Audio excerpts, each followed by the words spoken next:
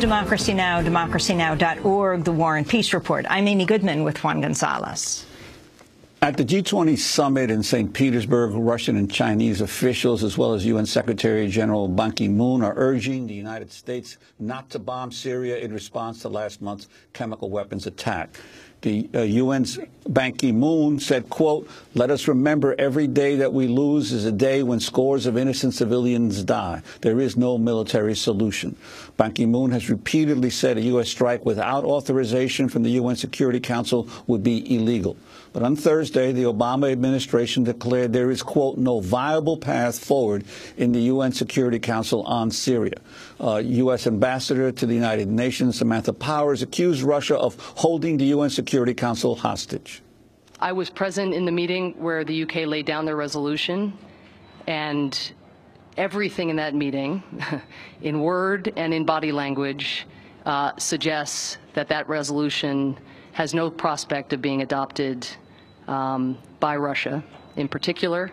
Um, and uh, our view, again, our considered view, after months of efforts on chemical weapons and after two and a half years of efforts on Geneva, on the humanitarian situation, is that there is no viable path forward in this Security Council. That's U.S. Ambassador to the United Nations Samantha Power. One nation that has been pushing for a U.S. military strike is Saudi Arabia. The Wall Street Journal recently revealed new details about how Prince Bandar bin Sultan Al Saud, uh, Saudi's former ambassador to the United States, is leading the effort to prop up the Syrian rebels. The Wall Street Journal reports Prince Bandar has been jetting from covert command centers near the Syrian front lines to the Elysee Palace in Paris and the Kremlin in Moscow, seeking to undermine the Assad regime.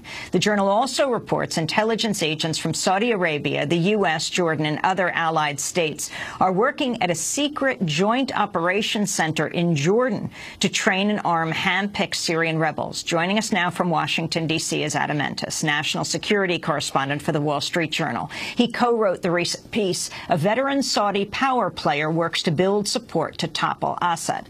Welcome to Democracy now, Adam. Why don't you just start uh, where you begin your piece? A veteran Saudi power player works to build support to topple Assad. Americans know him uh, most famously as Bandar Bush uh, because uh, this former Saudi ambassador to the United States was so close to the Bush family. He was the ambassador who was there, for example, September 11, 2001. How, what is his connection to the, the Syrian rebels? Well, I mean, he uh, he uh, he really didn't have a, a, strong connection to these rebels until a couple years ago, when the king of Saudi Arabia decided to uh, put him in the in the job of intel chief uh, last summer. Uh, and since then, he's been very aggressive in uh, in arranging arms shipments and funding for these rebels. Uh, really what he's doing is he's reprising a role uh, that he played in the 1980s uh, when he worked with the Reagan administration uh, to uh, to arrange uh, money and arms for Mujahideen fighters in Afghanistan, and also worked with the CIA in Nicaragua to support the Contras. So in many ways, this is a very familiar position for Prince Bandar, uh, and it's uh, amazing to see, uh, you know, the extent to which, uh, you know, veterans at the CIA were were excited uh, to see him come back because, uh, you know, in the words of a of a diplomat who knows Bandar, he brings the Arabic term wasta, which means under the table clout. you know his checks are not going to bounce, and and that he'll be able to deliver the money from the Saudis. Well, uh, your article provides enormous detail. Uh, for instance, uh, the role of Jordan and the training, not not only uh, uh, uh, by the CIA but by by Saudi forces. Could you talk about Jordan's role now in the training of the rebels? Right. So, so what happened was, is initially uh, the Saudis, uh, Qatar, uh, Turkey, uh, and to a certain extent the CIA in more of an observatory uh, capacity, uh, had set up their operations for arming the rebels out of Turkey. Uh, and uh, about uh, about a year ago, uh, a little over a year ago, uh, you know, this, the Saudis were watching as these arms were flowing in, and were concerned that they were going to uh, what the Saudis and what the Americans would consider to be the wrong rebels, and this would include Islamist groups, Muslim Brotherhood-connected groups, and so they decided to pull out of out of out of Turkey and move to Jordan. Uh, they convinced the king of Jordan, who was a little a little bit reticent initially to accept uh, this being done in their territory because they were worried about reprisals, where, for example, there are large uh, refugee camps for Palestinians just north of the uh, Jordan-Syria border uh, in, inside Syria. And the fear for the Jordanians was that the Syrians would literally push those uh, refugees into Jordan and further destabilize the kingdom. Uh, and what we found in our reporting is, is that uh, Bandar spent many hours uh, uh with the king and with his military chiefs, reassuring them uh, that that the, the, Saudis would support the Jordanians through this. And then CIA, CIA Director David Petraeus was involved as well in, in helping assure the Jordanians that the U.S. would have Jordan's back. And uh, last summer, they uh, they created this uh, operations center. Uh, and what would happen, what what is happening now, is you have uh, actually more CIA officers now there at that base than there are Saudi uh, personnel. they fly weapons in. The Saudis are the ones who are doing the bulk of this. They they buy the weapons in largely in places like Eastern Europe, to a certain extent Libya and they bring him to this base, uh, which uh, has a landing strip and uh, storehouses for the weapons to be stored. Uh, they uh, Saudis and the Jordanians, uh, you, you, know, draw on defectors largely from the Syrian military, uh, which uh, already have uh, a good degree of military training, and they're brought to this base where where uh, different intel agencies uh, train them, and the Americans are there, the Brits are there, the French are there, the Saudis, UAE is there, uh, and and they train them, and, and then they send them into the fight. And this, but very, very slowly, this process has been built up over the last couple months.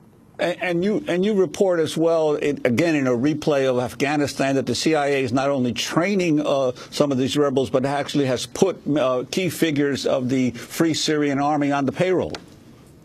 Right. Uh, it's a very interesting uh, development which we learned of as part of the reporting, which is, uh, you know, we are, you know, the United States is not at war with Syria, uh, so uh, this is uh, obviously being done covertly with the CIA. Uh, the Saudis uh, were instrumental in getting the CIA to agree to pay these salaries, and the idea here is if these if these FSA commanders receive American money, um, you know, the U.S. is building loyalty and building relationships that would last uh, into the future. And that's the main rationale with these payments that are being made. Uh, and it's part of generally an effort by the Saudis to gradually increase the extent of the U.S. investment uh, in the in the war in Syria. And uh, it's been slow going as far as the Saudis are concerned because the CIA is remains you know divided and skeptical about whether or not this is this has a chance of succeeding. And that's why you see, uh, for example, the the number of uh, CIA-trained rebels entering Syria. It's incredibly small uh, given the number of uh, months that this has been going on. For example, um, Congressman, uh, excuse me, Senators uh, McCain and, and Graham were told uh, on Monday by Obama that a, an initial group of 50 uh, rebels trained by the CIA were, were getting ready to enter. And this is after uh, months of work at this base in Jordan, and the number is incredibly small. Can you talk about um, Saudi Arabia, Prince Bandar, and the chemical weapons story? Right. So, uh, you know, as you know, uh, the U.S. right now is poised for military action in response to uh, a very large uh, alleged case of chemical weapons use on August 21st. Uh, you know, over the course of the last year, there have been these scattered reports of chemical weapons being used in much smaller quantities. Uh, generally speaking, the uh, U.S. intelligence community has been skeptical initially of those. Uh, the Saudis played an early and important role in trying to bring evidence of chemical weapon use uh, to the West uh, for analysis. And we were told as part of the research for the story that the Saudis had a uh, were brought by uh, members of the Free Syrian Army, uh, which is the Western-backed uh, rebel group. Uh, the, a, a, a, a, Syrian who had been exposed to an agent, a chemical agent, they, the Saudis arranged for that Syrian to be flown to Britain for treatment and to be tested. what the British found when they did the testing was that this Syrian was exposed to sarin uh, gas, uh, which uh, the U.S. and uh, and British and French intelligence believe is is only in the possession of uh, the Syrian regime. Uh, that was sort of the first uh, case that was offered credible evidence that chemical weapons had been used. And what you saw in the months that followed was uh, first Saudi intelligence, so Bandar's uh, intelligence agency, concluded that chemical weapons were being used on a small scale by the regime. Uh, followed by that, the, the Brits and the French uh, were convinced that, of the same conclusion. It took uh, U.S. intelligence agencies really until uh, until uh, until June to reach that uh, conclusion.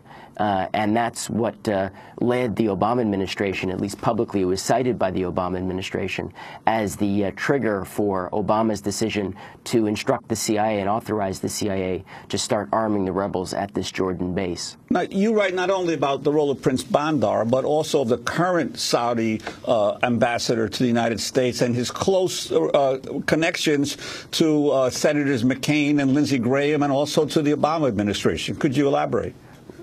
Sure. Uh, so uh, Ambassador Adel Al-Jubeir uh, replaced Bandar as the ambassador here, uh, and he uh, he is uh, you know has the kind of access to the circles of power in Washington that few, if any, ambassadors have. Um, he uh, gets uh, meetings with the president. Uh, he meets constantly with top White House advisors, as well as members of Congress. Uh, and he sort of used uh, the Saudi playbook from the 1980s uh, in Afghanistan. In, in, the case of Afghanistan, you're probably familiar with the Tom Hanks uh, uh, portrayal of Charlie Wilson, Congressman Wilson, uh, in, in, in supporting arming the rebels, the Mujahideen in Afghanistan. Well, in the case of Syria, uh, uh, uh, the the Saudis identified the core group as being Senators McCain, Senator Graham, and former former Senator Lieberman, and that was the core group. and then Adel Al-Jubeir, the ambassador. We have about five expand, seconds, Adam. Sure. Work to expand that out to bring more people in, uh, and in in the end, built a great deal more support within Congress for arming the rebels.